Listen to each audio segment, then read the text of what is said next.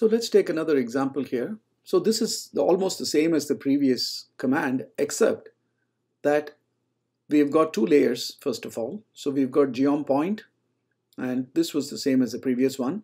And in the smooth layer, we made a change. We have said method equals lm within quotes, right? Earlier, we did not pass the method argument. So if I just jump back to the previous code, you see here, geom smooth mapping alone. We didn't say what the method was. And by default, it uses a locally smooth line, as I mentioned earlier. But we can tell it to plot the regression line instead of the locally smooth line by just saying method equals lm. And here I'm also demonstrating one other argument you can pass to it, and that is se equals false. Okay, if you remember in the previous example, we, we saw this that around every smooth line is a gray area uh, or a colored area, which tells you uh, what the 95% confidence interval for the, the uh, for the smooth value at that particular point is. Okay, now we may not want that. So when you don't want it, you just say SE equals false. So the net result of these two things will be that the lines that you get will be the linear regression lines for the three different types of drive and you won't get the gray line for any of them. So that's what you get now. Okay, so you got three lines and no uh, confidence limits. That is because SE equals false and you got straight lines as opposed to the curved lines that you got earlier because we said method equals LM. Okay, so I think sometimes when you've got the standard errors showing, sometimes it obscures some of the graph. So here we are able to see, for example, that the rear wheel drive cars are all uh, at the sort of uh, higher values of displacement. And the characteristics for both four-wheel drive and front-wheel drive are quite similar because if you look at their regression lines, they look at least close to being parallel, uh, except that the highway mileage for uh, four-wheel drives is obviously less, consistently less than that for uh, uh, uh the front-wheel drives, which again we would expect. Four-wheel drive cars typically would be the heavy cars, uh, and so they would have lower mileage. So all of that is understandable. And it turns out that the rear-wheel drive cars are all generally large vehicles. Okay, so you can see all of that by plotting the data. And if you just looked at the scatter plot, you won't be able to make out these fine differences. Okay, and that is what exploring data is all about. We're getting deeper into the data and able to make these kinds of, uh, to draw these kinds of inferences and gain these kinds of insights. Okay, so now let's just put everything together by looking at how things are working. So suppose we said geom smooth, mapping equals x is uh, displacement, y is highway. Of course, we've got only one layer, smooth layer, so that's all we're going to get. Okay, and we did not tell it what method to use, so it's using the default method. So that's fine. Now suppose we did exactly the same thing, except that in addition to x and y, which I have just shown with dotted lines here, Uh, in addition to x and y, we also said group equals drive. Okay, so here notice that we only mapped the x and y aesthetics. So it did not divide the data into multiple sets and plot a separate line for each set. So it just said, okay, I'm going to plot the entire data as one set and get one smooth line.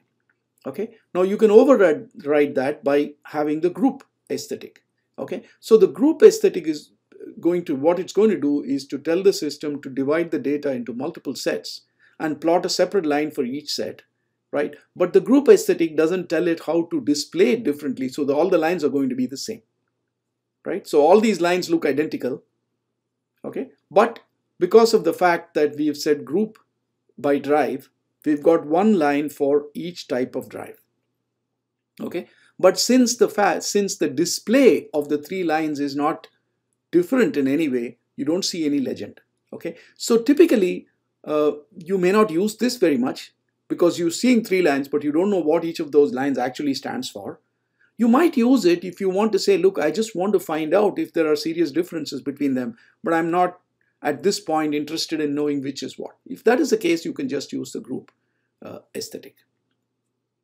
Okay, so on the other hand, instead of the group aesthetic, I say color equals drive then that of course is going to divide the data into three parts, right? Because this we are saying I want the color to depend upon the kind of drive. So obviously it's going to divide into three parts. But each line is going to have a different color.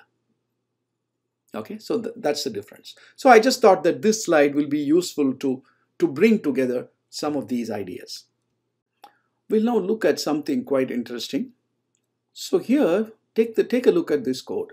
So we've got, this is sort of similar to what we've been using up to this point, saying ggplot data equals mpg, that's the data set. And we've got the two layers, the point layer, scatter plot layer, and smoothed layer, the smooth line. But notice that the mapping for these two layers is exactly the same. X is displacement, Y is highway, right? So it's the same mapping that we, the, the data is the same for both the layers. The mapping is also same for both the layers, right? Now, and of course you get this result, you, you get the scatter plot and then you get one smooth line. Of course, you're not seeing any extra colors for the points because we didn't have any color aesthetic. You're not seeing different lines for the smooth line because we didn't have any other aesthetics mapped here. So this is what we expect from this plot, uh, from this code, that is fine. But suppose I say, well, let me, instead of mapping displacement to the x-axis, let me map something else to the x-axis, right? So let's say we want to compare the city mileage and the highway mileage. So we want x equals CTY. Okay, as the code now stands, we have to make the change in two places, right? So we have to say x equals cty here and x equals cty here. It has to be changed in two places. Okay, now uh, that may not be a great idea. It's just extra work for us. Knowing if we know that we're going to use the same aesthetics for both of the layers, we might as well put them in one place like this. Okay, so here note what happened. We said ggplot data equals mpg mapping equals aesthetic, both of these are now in the ggplot function call itself and not in the layers. They are in the ggplot function call itself. This is the first time we're really doing this. Okay, so this is also allowed and in fact in this particular case this is actually preferable because both of these layers are using the same mapping so why not put the mapping in the ggplot call so what this leads us to is the fact that anything you put in the ggplot call, for example, even the data or any of the mappings, right? So the data and the mappings that you put in the ggplot call are kind of global in the sense they apply to all of the layers. They apply to all of the layers and so it makes things easy for us to put it into one place right? Of course, we still have the flexibility to put additional aesthetics into other layers, not just aesthetic, additional things into other layers.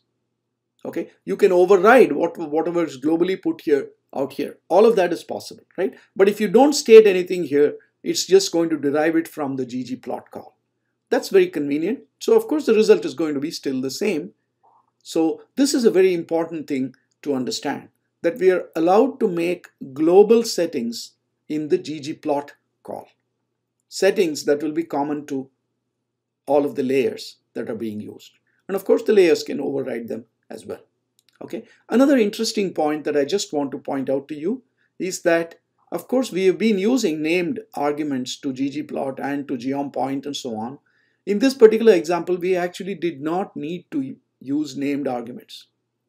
We could have just said ggplot mpg because as per the definition of ggplot, its first argument is in fact data. Okay, so we didn't have to name it because it's in the right position anyway. Similarly, the second argument is in fact the mapping. So again, we did not have to name this. We could have just said AES, etc. Because the second argument is going to be in the correct place, so no need to name it. Similarly, for the aesthetic, the first two arguments for aesthetic by the definition of the function are actually x and y, right? So these two are going to be in the correct place. So again, we did not need to name these, right? So this code would work perfectly correctly if we had not named any of the arguments. Okay, that's just an aside. The slide is meant to illustrate the fact that we can make global settings in ggplot. So notice this code here. So we've made the global settings. This is like the previous slide. So we have set the data is this, the mapping is this. Both we've done within ggplot. But let's say that we want the points to be colored depending upon the class of the vehicle.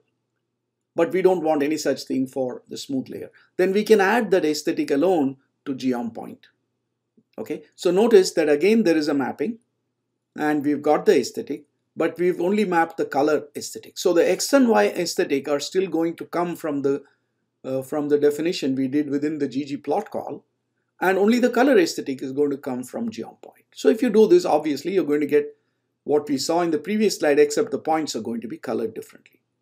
Okay, so no impact on the smooth layer. The smooth layer is just like it used to be, but this uh, scatter plot layer, the point layer, has changed in that each point is now colored depending on the class of the vehicle. Okay, so that's an interesting thing as well that we are allowed to override or add aesthetics in layers. Okay, now of course, since we defined color equals class only for geom_point, obviously that aesthetic applies only to that particular layer. It doesn't apply to the smooth layer.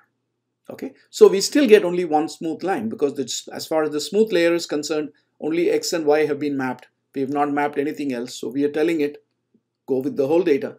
So one smooth line. Okay. Uh, so now here, of course, I'm just showing you something. It's not, it's not a uh, indication of good practice or anything.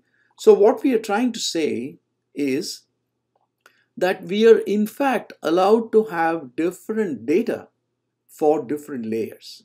Okay, so here we are saying ggplot data equals mpg and mapping x and y just like before. And for the point, we mapped color just like last time. But look at the geom smooth layer.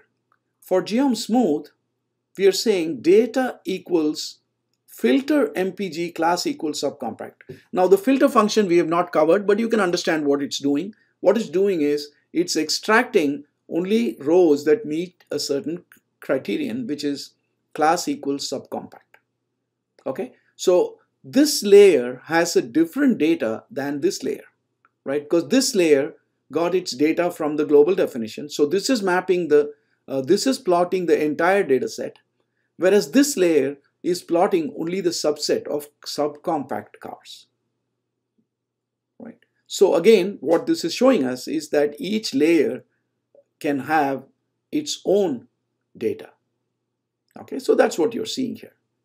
That this smooth line, this is somewhat of a misleading chart actually, which is why I sort of walked back a little bit on this, uh, because uh, one would thinking, looking at it, one would think that this smooth line represents the entire data. In fact, it doesn't. It represents only the line for the subcompact cars. Okay, so I would not recommend this as a good practice, but I am using this only to illustrate a certain concept that different layers can have different data.